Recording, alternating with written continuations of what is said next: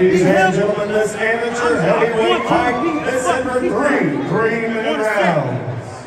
First, he's fighting out of the blue corner. His record stands undefeated with one win and zero losses. His height, six feet, four inches, and his weight, 241 pounds. He trains with Hitman MMA and he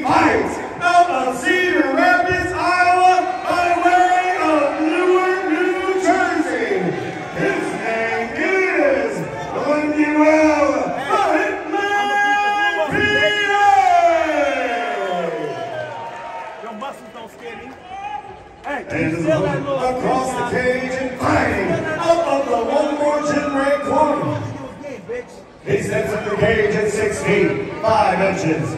His weight, 244 pounds. He trains with Revolution MMA and he fights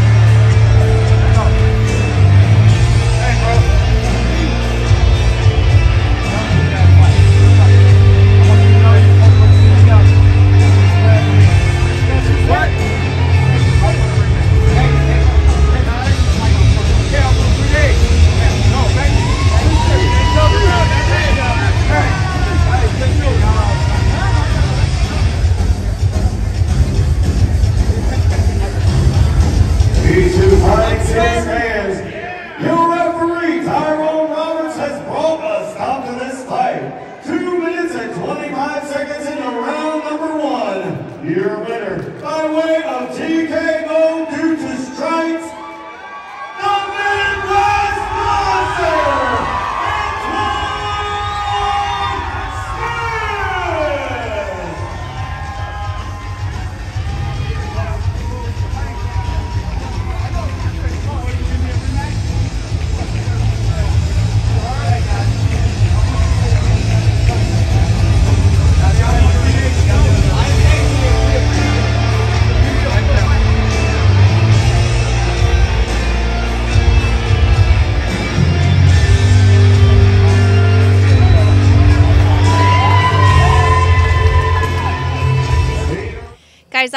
with Antoine Smith, who just won his amateur debut. Mr. Smith, how are you feeling? Feeling wonderful, exhilarated, a lot of fun. It was an absolute blast being out there. And you really looked like you were at home in that cage. Where does that come from?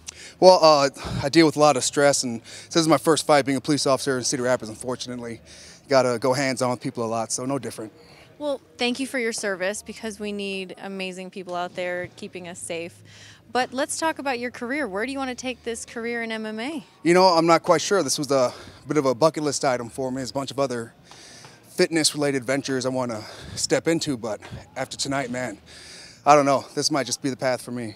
And yesterday you did say, let's talk about your fitness venture because you were overweight. Yes, ma'am. How how how overweight were you? Let, let's. Ex- I was I was pushing 300 pounds at one point, not in a healthy way. Right now I'm 240, so still pushing back up there, but a lot more muscle than fat from before.